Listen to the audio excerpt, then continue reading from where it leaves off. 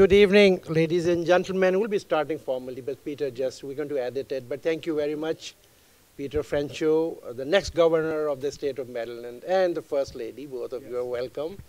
So, Peter, I mean, of course, we will be formally talking to everybody here, and you will be speaking. But uh, just for the sake of video recording, which will be edited, of course, tell us how is the campaign? Yes. Thank you very much, Hub. And the campaign's going very well. And I've been the chief fiscal officer for now 15 years for the state of Maryland. Welcome. Come, everyone, sit down. And uh, the campaign's going very well because people look at me and they say, You've been a good comptroller. That means you're going to be a good uh, governor. You understand the fiscal issues facing the state. And I think people say, look, uh, we like the other people running, but they don't know anything about the budget. And you do.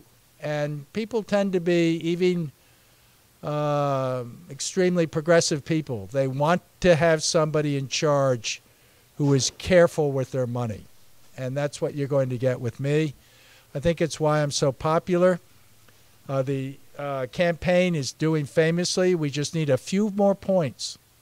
We're almost where we need to be to win because there's so many other people running. And the fact that uh, we have a good audience here, uh, if you give me uh, your attention, you give me uh, maybe a place to put an eight foot by four foot sign, they're beautiful. You help me with a little bit of talking to friends and neighbors and customers, and that will be a huge help for me.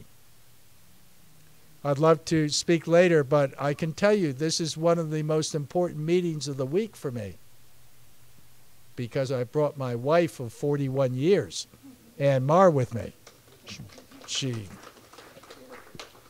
And so the campaign is Aces Up.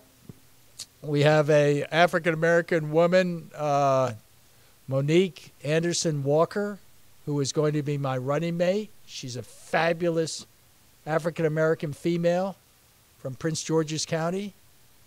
She is the, I talked to all sorts of people to be uh, my lieutenant governor. Monique is special because I could see her when I was talking to her. I could see her if something happened to me. I could see her as governor. And we need to recognize, I know we're all men here, kind of, but women rule. women are powerful. Women are, in America, this is the reason we have such a great economy. And by the way, the national economy is booming. Unemployment is down, and economic activity and confidence is way up. I uh, happen to think that we are going into a tremendous economic recovery. So get ready, all of you that have entrepreneurial activity. We're going to see a big upburst, resurgence. So the $2.5 billion I reported a few weeks ago, surplus, is in the bank. There's another $2.5 billion that's going to be available to the next governor. That's going to be me. I'm going to be your next governor.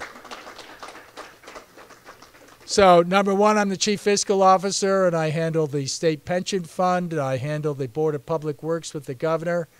I handle the uh, all of the uh, different Bureau, uh, board of revenue estimates, all of the fiscal issues I've looked at for the last 15 years day in and day out. That's all I've done. And people really sense that that is an asset that they, they want to have. Uh, secondly, I've made 10,000 visits, 10,000 visits over the last 14 years to small businesses. People know me. I was just up in Baltimore. I'm walking with Annie. She's lovely, but people come up to me because they recognize me. And uh, so the fact that I'm known, that I'm local, that I'm known for getting results, I'm a Democrat, but I'm not a robot. I get results. That's what I'm fixed on. And we're going to do transformative change in the state of Maryland. We're going to create 100,000 new jobs. We're going to attract 100,000 young adults to come to Maryland. Because if they live here and work here for five years and pay taxes, I'm promising them that we will retire, we will pay off their student loan. Why do we need young people? We're all getting old. The young people are very smart. We need their energy, we need their talent. Health care is a big problem in the state. It needs to be more accessible. We're going to have clinics. Uh, K through 12 education is not producing the kind of workforce we need, so we're going to change it, change the curriculum. We're going to make the schools much better performing. And then finally, on home ownership, we're going to create special programs for zip codes that have low home ownership. We're going to give Mar- uh, Maryland backed uh, mortgages. So, a high risk mor- mortgage that would require normally a 20% down payment will be a low risk mortgage at 2% down payment because the state will back it. Why are we going to do that? Because hundreds of thousands of people work day in and day out, every year after year after year. They end up with nothing. They pay rent. They don't own a home.